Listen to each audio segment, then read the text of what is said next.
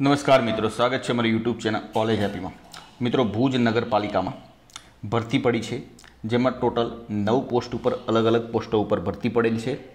પહેલાં આપણે ડિટેલમાં માહિતી લઈશું, એના પહેલાં આ જે ભુજ નગરપાલિકાનું જે પોસ્ટર છે તેના વિશે આપણે માહિતી લઈ લઈએ.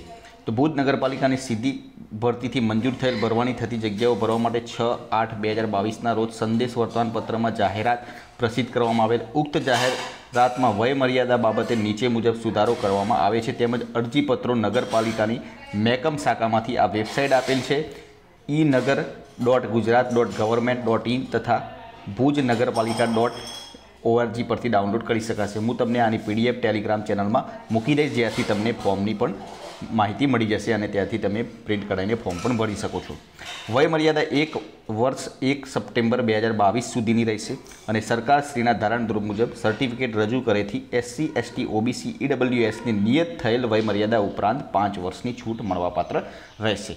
હવે મિત્રો આગળની માહિતી જોઈ લઈએ, કઈ કઈ જગ્યા છે, એના વિશે માહિતી લઈ લઈએ. તો ભુજ નગરપાલિકામાં ભરતી છે. તેમાં આપણે જોઈએ તો મિત્રો આસિસ્ટન્ટ ઇજનેર એક વર્ગ ત્રણ ડ્રેનેજ જેનો અનુભવ અભ્યાસ છે. ડિપ્લોમા સિવિલ એન્જિનિયર અને પાંચ વર્ષની નોકરીનો અનુભવ અથવા બીઈ સિવિલ અને બે વર્ષનો અનુભવ સરકાર માન્ય સીસીસી પાસ કરેલ હોવો જોઈએ. ઉંમર છે તેત્રીસ વર્ષ. એસસી એસટી ઓબીસી માટે પાંચ વર્ષની છૂટછાટ મળશે. બીજી જાહેરાત છે મિકેનિકલ વન વર્ગ ત્રણ, પાણી પુરવઠા. તો ડિપ્લોમા મિકેનિકલ પરીક્ષા પાસ કરેલ હોવી જોઈએ તથા પાંચ વર્ષનો ઇલેક્ટ્રિક કામનો અનુભવ. આગળની જે જાહેરાત છે, તે છે ઓવરસિયર વર્ગ ત્રણ પાણી પુરવઠા. તેમાં ડિપ્લોમા સિવિલ એન્જિનિયર અને પાંચ વર્ષનો અનુભવ સરકાર માન્ય સીસી પરીક્ષા પાસ હોવી જોઈએ. મલેરિયા ઇન્સ્પેક્ટર, જેમાં કોઈ પણ સ્નાતક એસઆઈનો કોર્સ કરેલો હોવો જોઈએ. સેનેટર ઇન્સ્પેક્ટરનો બે વર્ષનો અનુભવ તથા બાયોલોજિસ્ટ કામગીરી અંગેનું પ્રમાણપત્ર સરકાર માન્ય સીસીસી પરીક્ષા પાસ કરેલ હોવી જોઈએ. ચીફ સેનેટરી ઇન્સ્પેક્ટર વન વર્ગ ત્રણ કોઈ પણ સ્નાતક અને સેનેટરી ઇન્સ્પેક્ટરની સરકાર માન્ય પરીક્ષા પાસ કરેલી જોઈએ. સેનેટરી ઇન્સ્પેક્ટરની સરકાર માન્ય પરીક્ષા પાસ એક વર્ષનો અનુભવ, વિજ્ઞાન સનાતનને પ્રથમ પસંદગી આપવામાં આવશે. સરકાર માન્ય સીસી પરીક્ષા પાસ કરેલ હોવી જોઈએ. આગળ છે મિસ્ત્રી. એક વર્ગ ત્રણ ડ્રેનેજ ધોરણ બાર પાસ અને બાંધકામ સુપરવાઇઝરનો દસ વર્ષનો અનુભવ હોવો જોઈએ. તેમજ છે પ્લમ્બર. પ્લમ્બરમાં વર્ગ ચાર છે. પ્લમ્બર આઈટીઆઈ પાસ તથા આ કામનો દસ વર્ષનો અનુભવ હોવો જોઈએ. વાયરમેન છે, વર્ગ ત્રણ, ધોરણ બાર તથા વાયરમેન સેકન્ડ ક્લાસ પાસ તથા બે વર્ષનો વાયરમેનની કામગીરીનો અનુભવ હોવો જોઈએ. અને ચોથી નવમી જગ્યા છે લાઇનમેન વર્ગ ચાર, ધોરણ દસ તથા વાયરમેન સેકન્ડ ક્લાસ પાસ તથા બે વર્ષનો વાયરમેનનો કામગીરીનો અનુભવ હોવો જોઈએ. બીજી માહિતી જોઈએ, ઉક્તો જગ્યાઓ માટે લાયકાત ધરાવતા ઉમેદવારો પાસેથી નિયત નમૂનામાં બાર નવ બે હજાર બાવીસના બપોરે ચાર કલાક સુધીમાં લાયકાતના, ઉંમરના તથા અન્ય જરૂરી આધારો સાથે અરજી મંગાવવામાં આવે છે. યાદ રાખજો કે ક્યારે સુધી? બાર નવ બે હજાર બાવીસ સુધીમાં. અને મુદત બાદ આવેલ અરજીઓ ધ્યાને લેવામાં આવશે નહીં. તેમજ અરજી સાથે સો રૂપિયાનો ડીડી અથવા પોસ્ટલ ઓર્ડર સામેલ કરવાનો રહેશે.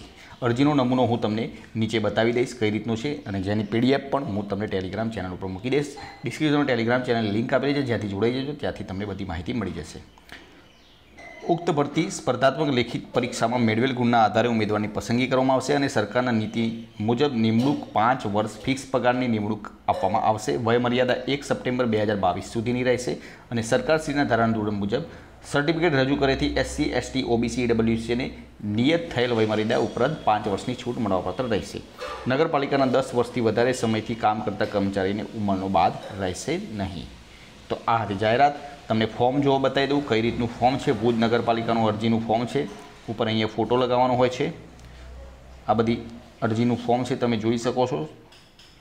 આ ફોર્મ હું તમને પીડીએફ રૂપે ડે ટેલિગ્રામ ચેનલમાં મૂકી દઈશ. જ્યાંથી તમે આ ફોર્મ ડાઉનલોડ કરી શકશો. તેમજ તમે જે વેબસાઇટ આપેલી છે, ત્યાંથી પણ તમે ડાયરેક્ટ ડાઉનલોડ કરી શકો છો. ભુજ નગરપાલિકાની જે વેબસાઇટ છે, ત્યાંથી પણ તમે ડાઉનલોડ કરી શકો છો. આ સૂચનાઓ મૂકેલી છે. સૂચનાઓ પણ તમે શાંતિથી વાંચી શકો છો.